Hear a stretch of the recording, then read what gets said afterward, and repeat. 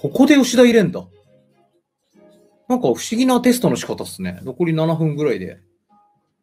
あ、いやだから本当にね、アメリカ戦もそうだったけど、やっぱり最後の数分5バックで耐え切るってやるんでしょうね、本大会でもこれ。それが唯一のプランなんだろうね。1点リードして最後5バックっていうね。そうだから、この試合は1-1で逃げ切る試合のプランなんだろうね。そのグループリーグ全勝なんてできないから。35分までリードできる試合があればいいですか？うん、そうなんよ。いや、ここ数試合ずっとそうなんだよね。ここ数試合最後の5バックね。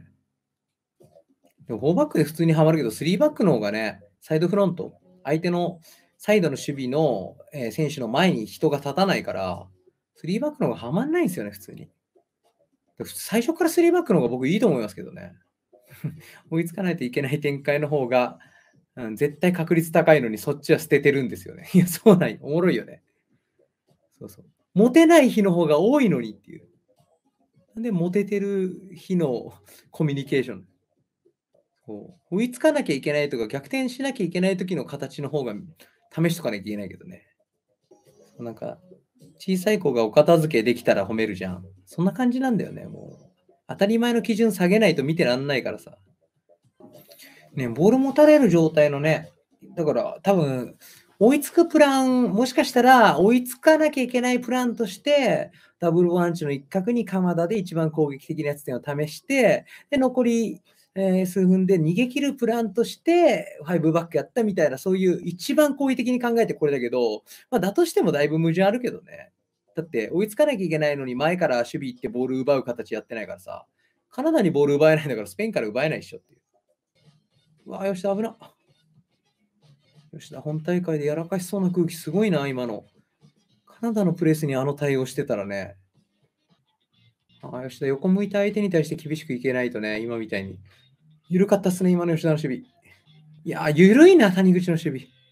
なんで横とか後ろ向いてる相手にあんなにフリーでやらせるんだろうね。ターンするような技術ある相手じゃないのね。あれ？やった、あ、PK! また前か前線から追いかけているときに最終ラインがやや低いように見えましたが、その辺どう映りましたか？低くならざるを得ないって感じですね。そう。あの前が、この、なんで低くならざるを得ないかっていうと、ライン上げるのいいみたいにされるけど、裏にボール出るときに高くしてたら、この一発でやられるんだよ。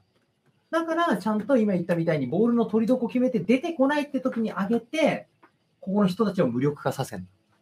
だから、オフサイドトラップじゃなくて、ラインをコントロールするんだよね。出てこないときにラインを上げないと、ここの人たちをオフサイドしてても、後ろから出てきた人に今の時代やられるから、オフサイドトラップはここに人がいるだけでオフサイドになってた時代の話だからさ。ってなると、ここのこういう守備の追い込み方って決まってないから、だから今回ので分かりました。吉田麻也がライン低いんじゃないんですよ。日本のここ決めてねえから、ここのラインが低くなるっていう。まあ、吉田麻也もある意味、そういうところでこのラインコントロールを、ね、ちょっとおバカさんな、うん、なんかこう、自由奔放な戦術の解釈をする人たちが、得意げにあの吉田麻也を材料にしてそういうとこ言いますけど、実際は吉田麻也のせいでライン下がってるんじゃなくて、日本の守備の構造がラインを下げさせてる。吉田僕が言った吉田麻也の問題はまた別の、相手横向いたり後ろ向いてるときに厳しくいかなくて、それによって相手の起点ができてるとです。みたいな感じだね。あとは、コウキ君、スパチャありがとう。日本代表すごく応援してるんですが、グループリーグ突破できるかすごく不安です。レオさかなかポジティブなご意見お願いします。あの、突破できるか不安っていうのは、この、突破できる前提っていうか、いけると思ってるけど、大丈夫かなって不安じゃないですか。あの、そういうのじゃなくて、も本当にね、あの、突破できるのじゃなくて、恥かかないかなみたいなとか、うん、なんかこう、まだ希望ある方を前提にしない方がいいですね。あの、できたらマジラッキーみたいな。あの、サイコロの目で1でないと突破できないぐらい、2から6の方が出るじゃん。そっちが、うん。うん、グループリーグ落ちる方だから。そう、だからそこは、うん、認識をあれした方がいいですね。そうそうそう。商店街のくじ引きぐらいの感じですよ、本当に。あ、海外旅行当たるって書いてあるけど、普通無理だよねっていう。そう。でもそういうチームでもさ、志低いからこそ、スペース埋めて、志高いからこそ、うん、変に繋いでとか、あと最後のところでやっぱストライカーいるかいないかですからね。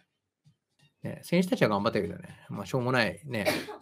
戦術と戦略と采配のサッカーですけど、まあ僕ら日本人なんで見ましょう。